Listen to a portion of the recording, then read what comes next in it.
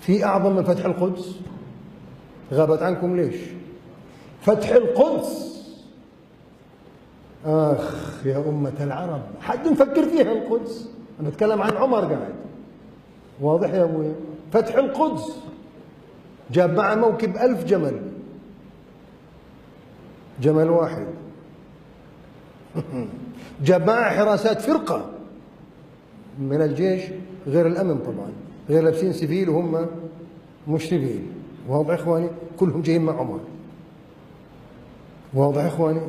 جاء عمر والخادم على جمل واحد.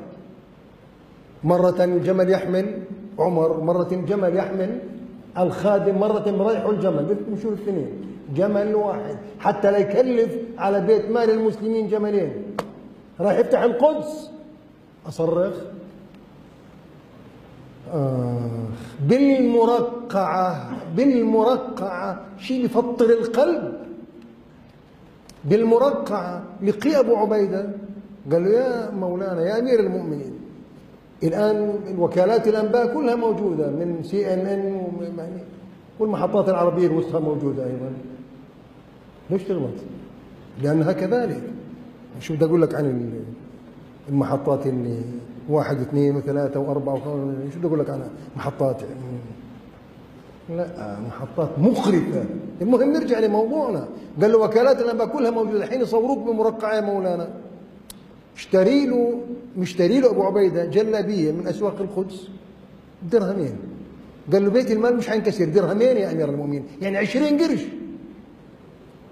اقتنع عمر رضي الله عنه فخلع المرقعة لبس الجلابية ومشي. كم متر؟ بعدين قال له يا أبا عبيدة. نعم يا أمير المؤمنين. ارجع تعال. رجع.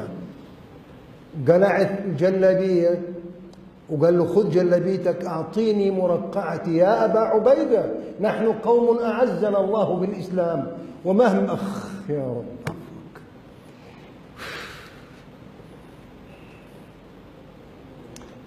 لكن نحن إلى ساعة من هالزمن الجميل ساعة.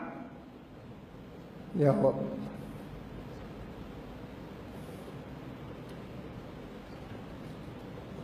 بطلع نشوف يوم عز. كله هوان وذل وفقر وسحق.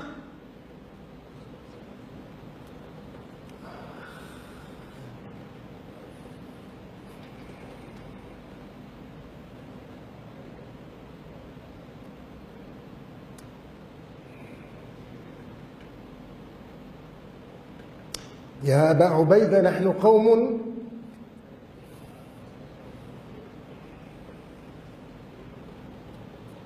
أعزنا الله بالإسلام.